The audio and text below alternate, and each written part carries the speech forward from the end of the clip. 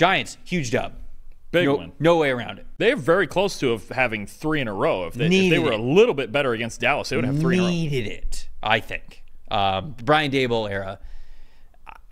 I love I like Brian Daboll a lot, but it feels like we're on life support at this point. So this was a huge step in his direction to defending, obviously keeping his job and getting New York uh, going in the right direction. Because I do still think he's a good coach. It's just been a bad situation over the last couple of couple of years. Twenty nine to twenty is the final score in this one. So let's talk about the Giants' top five graded players first. Quarterback Deonte Banks at the top of this list with an 84.6. Uh, offensive guard Greg Van Roten with a 82.2. Wide receiver Terry Slayton picking up the slack with no Malik Nabers in this game, 76.9. Offensive tackle Jermaine Eluemunor with a 76.7. Cornerback Cor'Dale Flott with a 74.2. And then Daniel Jones with a 70.4. On Seattle side of things, linebacker Tyrel Dodson with an 83.0. Linebacker Jerome Baker next with a 72.3. Tyler Lockett, their wide receiver, with a 70.5. Jarran Reed with a 70.1. And then edge rusher Derick Hall with a 69.2. Geno Smith in this one, a 70.0. Stat that told the story here for the Giants' big win. All right, this is getting wrapped in with my most disappointing. Go ahead. All right, I'm gonna let me set the stage. The Seattle Seahawks lead the NFL in rushing grade. Okay. Okay. The Seattle Seahawks are 28th in the NFL in pass protection grade. Okay. Okay. Geno Smith over the last two years was the NFL's highest graded deep passer. All right. Okay. Now I'm going to give you a second set of things. Okay. And context, we're playing the Giants, who admittedly have a really good defensive line, right? Lawrence, In theory. Burns, Thibodeaux, they're theory. top eight or ten in pass rush grade, that whole bit. In theory. Okay. Because at the beginning of the year, they were not. They're getting there. They're better. They're running. hot, they're running better. hot now. Dexter. Dexter. Lawrence is a monster, I'll get to that in a second. and Seattle's pass pro is a problem. Uh, yeah, I'll get to that later as well. The Seahawks called seven run plays this entire game. They Wouldn't called, have thought that. They called seven run, running plays the entire game, Would not have thought that. and they called only three play action passes the entire game. Why? And okay, they called five screens in this game. Eh, two like two of them worked. Okay. And okay, so maybe maybe you're dropping back and chucking the ball with Geno Smith, right? Geno Smith's average depth of target was 5.3 yards. His lowest uh, So this is just an against the script game for them. against it, they burned it.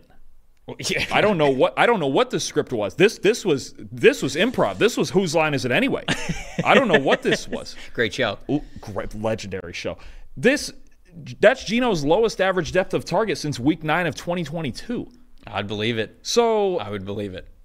we don't feel like running the ball, and we don't feel like chucking it deep because even though we have Geno and Metcalf and all these guys, and we don't feel like calling play action to at least make him think we're running the ball. I I really like Ryan Grubb as an offensive coordinator. I think he's done a great job at least through the first four weeks, and he was awesome at Washington.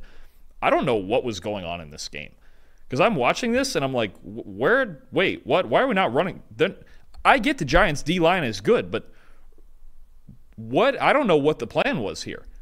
Uh, they called seven run plays the entire game. In a game, they were not down three scores in this game. They were within seven points like this entire game.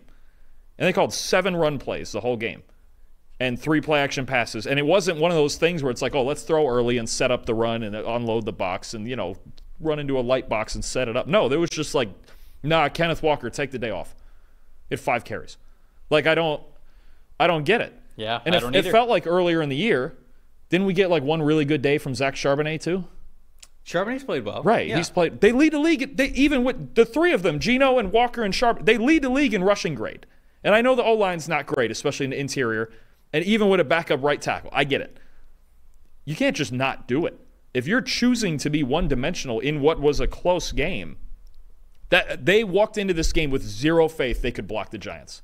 Not even didn't even give themselves a puncher. well, a they did. Well, they didn't. well, they didn't, but I go, if you're one dimensional and they're going to tee off on you because they know you're trying to play seven on seven, well, they're going to tee off on you.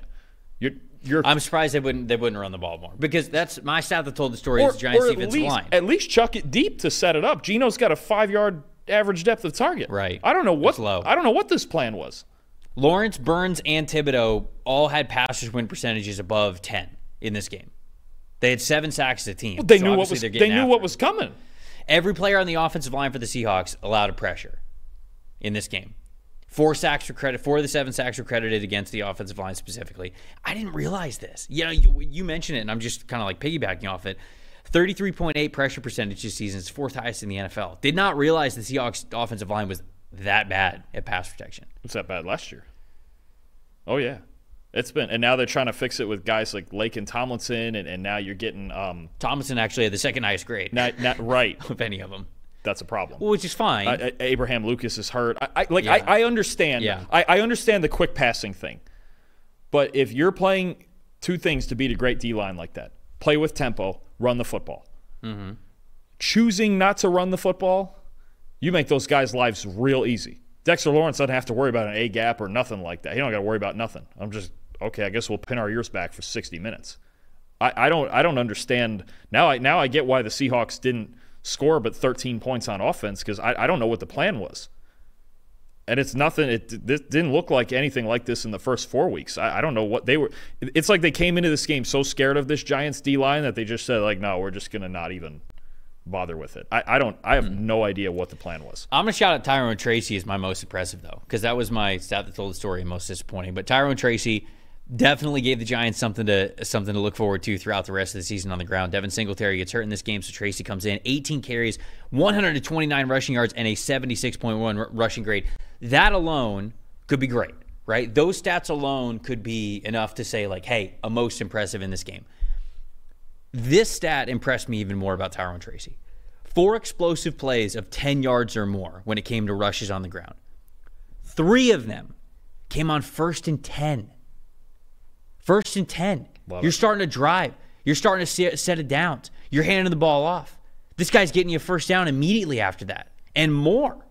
And then the other one, the fourth explosive run, came on a third and two. Oh, okay, third down. We're barely picking up the first down. Just kidding. Now we're getting. Now I'm getting more than ten on you. Tracy gives them the ability to be dynamic. And it's why I said at the beginning of the year, Tyrone Tracy will eventually be the starting running back of this team in his rookie season because he gives you juice that Singletary doesn't. Is he going to screw up more than Singletary in the little things? Yes, because he's a rookie and Singletary's a vet playing with a coach that he knows. But this is evidence that this guy allows you to be dynamic. And especially on a day where you did not have Malik Nabers, they needed this.